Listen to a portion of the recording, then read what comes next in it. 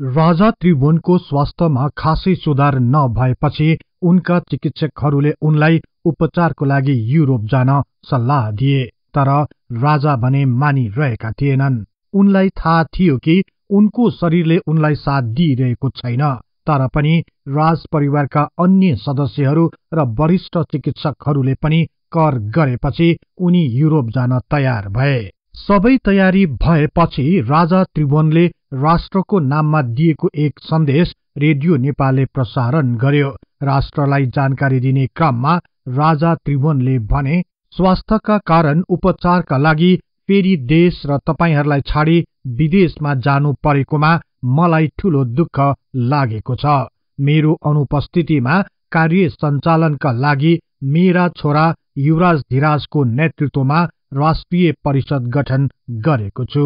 मलाई विश्वास छ युवराज धिराजको नेतृत्वमा गठित यो राजकीय परिषदले देशमा उत्पन्न परिस्थितिलाई दृढताका साथ समाधान गर्नेछ र देशको उन्नति पनि गर्नेछ। यो सन्देशको अन्त्यसँगै राजाको विदाईमा नारायणहिटी दरबारमा रहेका आफन्त तथा अन्यहरूले विदाई दिए। जाने बेलामा उनले दरबारमा उपस्थित भएका केही व्यक्तिहरूलाई भने सायद म यस पालि फर्कन पाउँदिन होला। फेरि तपाईँहरूसँग भेट होला या नहोला? यसपछि राजा त्रिभुवन कलकत्ता गए। उतैबाट उनी बम्बईतिर लागे। विक्रम सम्बत दुई हजार एघार साल कार्तिक चौध गतेका दिन राजा त्रिभुवन उनका दुवै रानीहरू कान्ति राज्य लक्ष्मी देवी र ईश्वरी राज्य लक्ष्मी देवी र अन्य केही सहयोगीहरूका साथ राजा त्रिभुवन युरोपतिर प्रस्थान गरे। केही लेखकहरूले राजाका कान्छा छोरा वसुन्धरा पनि सँगै गएका थिए भनी उल्लेख गरेको भए तापनि राजा त्रिभुवनले गठन गरेको राजकीय परिषदका एक प्रमुख सदस्य भएकाले उनी भने राजासँगै गएनन्। विक्रम सम्बत दुई हजार एघार साल कार्तिक एक्काइस गतेका दिन राजा त्रिभुवन र उनको समूह बम्बईबाट काइरो काइरोबाट इटलीको रोम र रोमबाट स्विट्जरल्याण्डको जुरिकमा पुगे।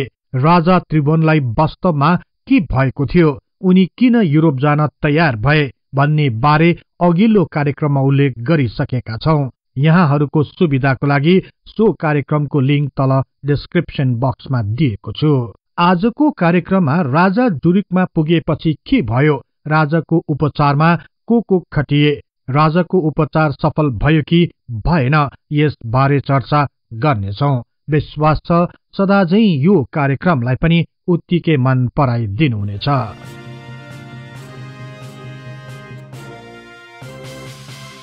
विक्रम सम्बत दुई हजार एघार साल कार्तिक एक्काइस गतेका दिन स्विट्जरल्याण्डको जुरिकमा राजा त्रिभुवन चढेको विमान अवतरण गरेपछि भारतीय दूतावासका अधिकारीहरूले राजालाई स्वागत गरे। तत्कालीन समयमा स्विट्जरल्याण्डमा नेपाली दूतावास नभएकोले राजाको बस्ने व्यवस्था भारतीय दूतावासका अधिकारीहरूले गरिदिएका थिए। ती अधिकारीहरूले अशक्त अवस्थामा रहेका राजालाई डाउनटाउन होटल लगे। यसपछि भारतीय दूतावासका प्रवक्ताले नेपालका राजा त्रिभुवनको स्वास्थ्य स्थिति गम्भीर भएकोले सोको उपचारको लागि जुरिक आइपुगेको जानकारी दिए। सो रात होटलमा नै बस्ने र सुत्ने व्यवस्था गरिएको थियो। अर्को दिन बिहानै राजालाई जुरिक अस्पताल लगियो र अस्पतालका निर्देशक प्राध्यापक डाक्टर विलियम लफलरले आफ्नै निगरानीमा राजाको उपचार सुरु गरे। राजा त्रिभुवनको स्वास्थ्य अवस्था निकै कमजोर रहेकोले उनको उपचारको लागि तत्कालै एउटा डाक्टरहरूको विशेष समूह तयार पारियो। सो समूहमा डाक्टर लफलर लगायत लन्डनका प्राध्यापक डाक्टर पार्किन्सन र भिएनाका प्राध्यापक डाक्टर लाउडर पनि थिए। उनीहरूले राजाको स्वास्थ्यलाई सूक्ष्म तरिकाले परीक्षण गर्दै औषधि र उपचारको व्यवस्था गरिदिए। यसबाट राजा त्रिभुवनको स्वास्थ्यमा विस्तारै प्रगति हुँदै आयो। राजाको मुहार हँसिलो र उज्यालो बन्दै गयो। यसरी राजाको स्वास्थ्य राम्रो हुँदै गएपछि विक्रम सम्बत दुई हजार एघार साल पुस तेह्र गतेका दिन उनलाई अस्पतालबाट डिस्चार्ज गरियो। तर राजाको उपचारमा संलग्न डाक्टरहरूले लामो यात्रा पूर्णतया बन्द गर्नुपर्ने र विशेष आराममा ध्यान दिनुपर्ने सल्लाह दिए। यसपछि राजा त्रिभुवन रानीहरू र केही सहयोगीहरू आरामको साथ समय बिताउन फ्रान्सको निसतिर लागे। राजा त्रिभुवनको साथमा उनका निजी चिकित्सक एडमन्ड रोनाल्ड पनि थिए। राजा त्रिभुवन पहिलो पल्ट युरोप आउँदा निजमा नै बसेकाले उनलाई यो स्थानमा बस्न निकै सहज थियो। राजा त्रिभुवनको गम्भीर अवस्थाको बारेमा विक्रम सम्बत दुई हजार एघार साल माघ पाँच गते तत्कालीन नेपाली सेनाका प्रधान सेनापति जनरल किरण शमशेरले रेडियो नेपाल मार्फत एक सन्देश प्रसारण गरे। सो सन्देशमा उनले राजा त्रिभुवनको गाथमा फाइदा हुँदै आएको तर कडा रोगले धेरै कालसम्म सताएको हुनाले पूर्ण स्वास्थ्य लाभ हुन अझै समय लाग्ने बताए। फ्रान्सको निसमा राजाले आरामका साथ आफ्ना दिनहरू बिताउन थाले। डाक्टरहरूकै सल्लाह अनुसार औषधिहरूको पनि सेवन गर्दै रहे। बिस्तारै उनको स्वास्थ्यमा पनि सुधार देखिँदै गयो। राजा त्रिभुवनका निजी चिकित्सक एडमन्ड रोनालले प्रेस ट्रस्ट अफ इन्डियालाई दिएको जानकारीमा पनि उनले राजा त्रिभुवनको मुटुको व्याथामा केही फाइदा हुँदै गएको बताए। तर उनी यहाँ बसेको एक महिनापछि अर्थात विक्रम सम्बत दुई हजार एघार साल माघ अठार गते सोमबारको दिन उनलाई फेरि हृदयघात भयो। यस पटकको हृदयघातबाट राजा त्रिभुवन निकै आतिए उनी विवश र निराश देखिए। यसरी अचानक राजाको स्वास्थ्यमा आएको परिवर्तनले रानी तथा राजाका सहयोगीहरूको होस हवास नै उड्यो। उनीहरूले जुरिक अस्पतालका डाक्टरहरूलाई बोलाउने निर्णय लिए र जुरिक अस्पतालमा तुरुन्तै खबर पठाए। राजा त्रिभुवनलाई पुनः हृदयघात भएको खबर सुन्ने बित्तिकै अस्पतालका डाक्टरहरू पनि आत्तिए। यसपछि डाक्टर विलियम लफलर आफ्ना केही सहयोगी डाक्टरहरूको साथ निस जाने तयारीमा लागे। विक्रम सम्बत दुई हजार एघार साल माघ बीस गतेका दिन डाक्टर लफलरको समूह निस पुग्यो। निस पुग्ने बित्तिकै उनीहरू राजाको उपचारमा खटिए। यसपछि भने राजालाई केही राहत भए जस्तो देखियो। तर राजाको मनमा रहेको डर भने हट्न सकेन। यो पटकको हृदयघातले राजा त्रिभुवनलाई निकै विचलित बनाएको थियो। उनलाई हेर्दा लाग्थ्यो कि उनी सो त्रासदीबाट उम्कन सकिरहेका थिएनन्। यही कारण उनले बिस्तारै मृत्युलाई सहज लिन थाले। उनीसँगै रहेका अन्य सहयोगी र चिकित्सकहरूले पनि राजाको व्यवहारमा केही परिवर्तन देखे। उनले आफूलाई मृत्यु समक्ष समर्पण गरिरहेको जस्तो देखिन्थ्यो। उनलाई लाग्थ्यो कि अब उनी बाँच्ने छैनन् साथै उनको मृत्युलाई कसैले रोक्न सक्ने छैन। यही कारण राजा त्रिभुवनले अचानक आफ्नो शासन सत्ताको अख्तियार युवराज महेन्द्रलाई सुम्पने बारेमा रानीहरूसँग सरसल्लाह गर्न थाले। यसै समयताका लन्डनको भ्रमणमा रहेका भारतीय प्रधानमन्त्रीले राजा त्रिभुवनको स्वास्थ्य स्थिति बुझ्न आफ्ना एक सहयोगी पिएन हस्करलाई फ्रान्सको निसमा पठाए। सो प्रतिनिधिले राजासँग भेट गरे र राजाको स्वास्थ्य स्थितिको बारेमा जानकारी बटुले। यसपछि उनले ती सबै जानकारीहरू प्रधानमन्त्री नेहरूलाई बताए। राजा त्रिभुवनको बारेमा सबै जानकारी प्राप्त गरेपछि नेहरूले राजालाई उनको राजकीय अधिकार आफ्ना उत्तराधिकारी युवराज महेन्द्रलाई हस्तान्तरण गर्न सुझाव दिए। यसपछि भने राजा त्रिभुवनले नेपालमा रहेका युवराज महेन्द्रलाई आफ्नो विश्वासिलो मानिससँग तुरन्त फ्रान्सको निसमा आउनु भनी खबर पठाए। आफ्ना पिता तथा राजा त्रिभुवनको बोलावट आएपछि युवराज महेन्द्र फ्रान्सको निसतर्फको उडान भर्न तयारीमा लागे। जाने बेलामा युवराज महेन्द्रले नेपालमा चलिरहेको राजनैतिक उतार चढावको बारे सरसल्लाह गर्न फ्रान्स गइरहेको बताए। यसपछि युवराज महेन्द्रले आफ्ना साथमा क्याप्टेन शेर बहादुर मल्ललाई लिएर भारत हुँदै निजतर्फ लागे। यसै समयताका राजा त्रिभुवनको स्वास्थ्यमा केही सुधार हुँदै गयो। उनलाई साधारण खाना पनि राम्ररी रुच्न थालेपछि राजाको उपचारमा खटिएका डाक्टर लफलर र डाक्टर लाउडर जुरिकतर्फ फर्कने तयारीमा लागे। तर यही समयमा राजालाई अचानक इन्फ्लुएन्जा भयो जुन उनको हृदयको लागि अति नै घातक थियो। यसरी अचानक राजाको स्वास्थ्यमा घातक संक्रमण हुन गएपछि डाक्टर लफलर र लाउडरले जुरिक फर्कने विचार त्यागे र पुनः राजाको उपचारमा संलग्न भए। यसपछि नै अर्थात विक्रम सम्बत दुई हजार एघार साल माघ सत्ताइस गतेको दिन युवराज महेन्द्र फ्रान्स जान भनी काठमाडौँबाट कलकत्तातर्फ प्रस्थान गरे। उनी कलकत्ताबाट सिधै फ्रान्सको निजतर्फ लागे। विक्रम सम्बत दुई हजार एघार साल फागुन एक गतेका दिन युवराज महेन्द्र निज पुगी आफ्ना पिता तथा राजा त्रिभुवनलाई भेट गरे। यसपछि राजाले आफूले प्रयोग गर्दै आएको शाही शासनको सम्पूर्ण अधिकार आफ्नो अनुपस्थितिमा राजगद्दीका उत्तराधिकारी आफ्नो ज्येष्ठ सुपुत्र युवराज महेन्द्रलाई हस्तान्तरण गरे। हस्तान्तरणको सम्पूर्ण काम कारवाही पूरा गरेपछि युवराज महेन्द्र फागुन चार गते फ्रान्सबाट कलकत्ता र कलकत्ताबाट अपरानातिर काठमाडौँ आइपुगे। यसपछि विक्रम सम्बत दुई हजार एघार साल फागुन सात गते राष्ट्रिय दिवसको अवसर पारेर युवराज महेन्द्रले राजा त्रिभुवनद्वारा युवराजलाई शाही अख्तियारनामा सुम्पिएको बारे शाही घोषणा मार्फत जानकारी गराए। राजा त्रिभुवनले राष्ट्रिय दिवसको उपलक्ष्यमा पठाएको सन्देशलाई रेडियो नेपालले सोही दिनको बिहानै पढेर सुनाइएको थियो।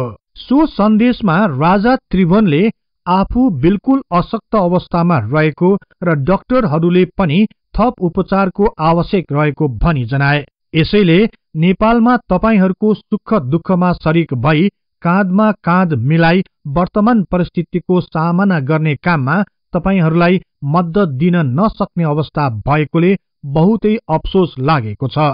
तसर्थ छोरा नानी युवराज महेन्द्रलाई यहाँ बोलाई देशको वर्तमान परिस्थिति हेरी कसो गरे देश र देशवासीहरूको भलाइ हुन्छ यता सके जनावज सुनि आवश्यक सबै कामकाज गर्नु भनी अराई ममा रहेको सबै शाही अधिकार पूर्ण तवरले दिइ पठाएको छु।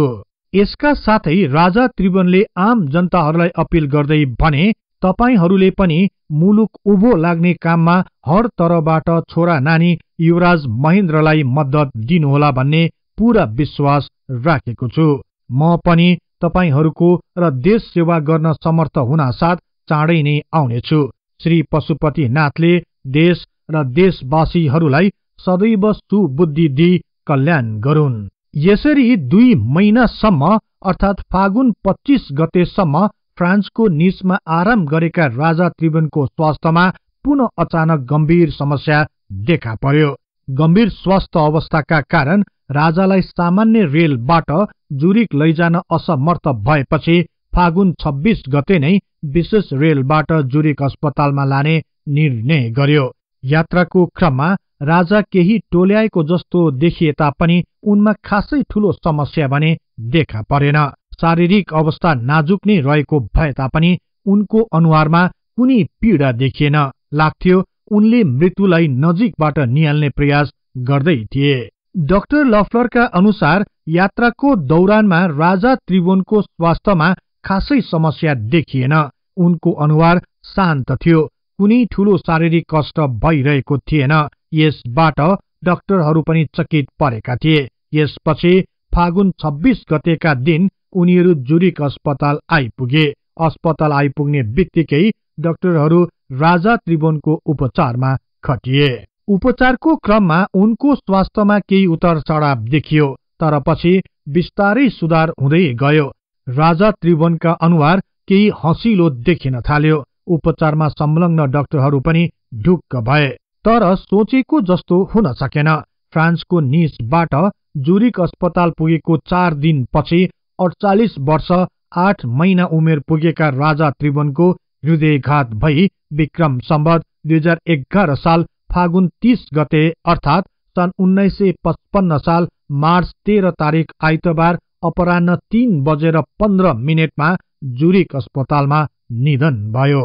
अस्पतालको सैयामा रहेका राजा त्रिभुवनको हृदयघातबाट यति चाँडो निधन भयो कि उनका दुवै रानीहरूले राजालाई भेट गर्न सकेनन्। जीवनको अन्तिम पलमा पनि राजाको साथमा हुन नसक्दा दुवै रानीहरू निकै दुखी भएकी थिइन्। राजा त्रिभुवनको उपचारमा दिन रात नबनी खटिएका डाक्टरहरू पनि साह्रै दुखी थिए तर उनीहरूले राजा त्रिभुवनले मृत्युलाई अगल्दा कुनै पीडाबोध गर्नु भएन भनी जानकारी गराए। उनीहरूका अनुसार सायद राजा स्वयं पनि मृत्युको लागि तयार भइसकेका थिए। उनको अनुहारमा कुनै पीडा र पश्चाताप झल्किएको थिएन। उनले खुसी साथ मृत्यु वरण गरे। राजा त्रिभुवनको निधन भएको अर्को दिन अर्थात् चैत्र एक गतेका दिन दिल्ली स्थित नेपाली राजदूतावासले राजा त्रिभुवनको निधन भएको पुष्टि गर्यो। यो खबरसँगै नेपालको नारायणहिटी दरबारभित्रको वातावरण निकै शून्य हुन गयो। आफ्ना पिता तथा राजा त्रिभुवनको मृत्यु भएको खबर थाहा भएपछि युवराज महेन्द्र अधिराज कुमार हिमालय र अधिराज कुमार वसुन्धरा महेन्द्र मन्जिलमा भेला भए। उनीहरूले तुरुन्तै नेपालबाट केही व्यक्तिहरू जुरिकमा पठाउने बारेमा छलफल गर्न थाले। सोही छलफलको क्रममा युवराज महेन्द्रले कान्छा अधिराज कुमार वसुन्धरा र दयाराम भक्त माथैमालाई जुरिक पुगेर बुबाको शव लिएर आउनु भनी अराए। यसका साथै होटेल तथा अस्पतालको बिल पेमेन्ट गर्न आवश्यक रकम पनि लिएर जानु भने। यसपछि कान्छा अधिराज कुमार वसुन्धरा कान्छी महारानी जनरलहरू र दयाराम भक्त माथेमा जुरिक जान दिल्ली तर्फ लागे।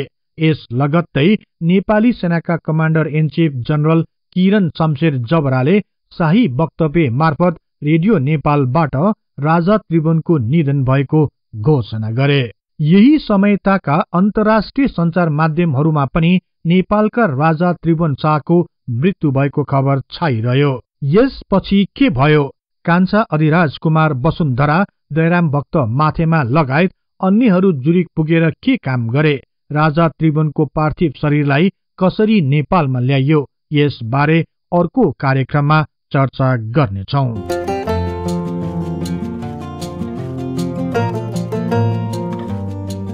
यहाँहरूलाई यो कार्यक्रम कस्तो लाग्यो कृपया कमेन्ट बक्समा लेखी पठाउनुहोला। यस्तै तथ्य इतिहासको लागि हिस्ट्री इन नेपाली च्यानललाई सदैव सम्झनुहोस्। इतिहासको कुनै पनि कालखण्ड बारे तपाईँलाई सुन्न र बुझ्न चाहना राख्नु भएको छ भने तल रहेको कमेन्ट बक्समा उल्लेख गर्नुहोस्। हामी सो बारे प्राथमिकताका साथ कार्यक्रम बनाउने नै छौ। जाँदा जाँदै यस च्यानललाई लाइक सेयर र सब्सक्राइब गर्दै बेल आइकनमा क्लिक गरी हाम्रो यो तथ्य इतिहासको बारेमा ज्ञान प्रसार गर्ने लक्ष्यलाई साथ दिनुहोस् भन्दै अर्को कार्यक्रममा फेरि भेट्ने बाचा गर्दै अहिलेलाई विदा हुन चाहन्छु। हवस् त नमस्कार।